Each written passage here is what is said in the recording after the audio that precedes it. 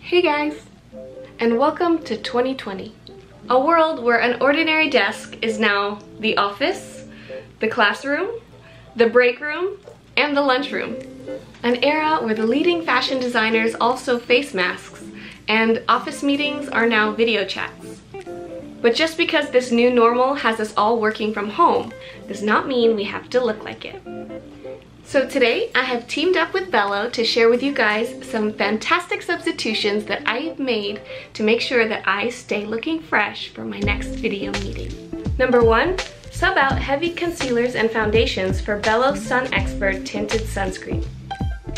You get SPF 50 with tinted coverage and a lightweight creamy consistency that won't weigh you down available in 50 ml and 10 ml. Is actually super easy to apply.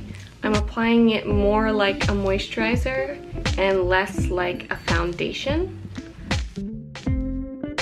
Number two, sub regular talc powder for Belo's Baby Talc Free Powder made with rice and maize.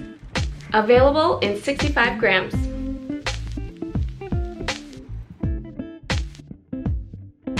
I'm gonna go ahead and blend it in with my brush. If you don't have a brush, it's perfectly fine. You can blend with the poof.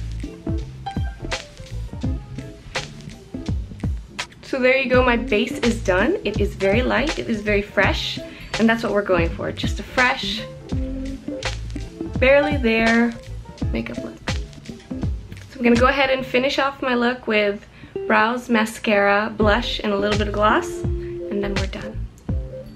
And third, sub out your tired loungewear for at least a polished top. What you do with your bottoms is totally up to you. And last but not least, sub out the hassle of going to the store and sub in some Shopee savings. Right now, there is a promo on Shopee where if you buy the tinted sunscreen, you'll get the talc-free powder for free. The whole bundle is less than 450 pesos. If you want to check them out for yourself, everything you need to know is in the description box below. And I'm super excited to announce that we'll be doing a giveaway for both of these products. There will be three winners, so be sure to check out my Instagram for more deets. Much love everyone, I hope you enjoyed this video. Stay tuned on my Instagram to find out who won.